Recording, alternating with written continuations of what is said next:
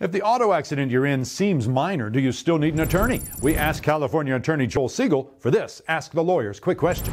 Sometimes people call me up on a very simple rear ender and they tell me, for example, that their medical bills are, are very minor. They've gone to a chiropractor two or three times.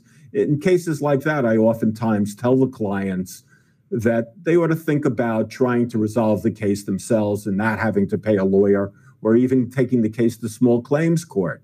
Sometimes that's possible, but generally, if the injuries are a little bit more significant, insurance companies fight like hell. Let's remember the insurance company manifesto.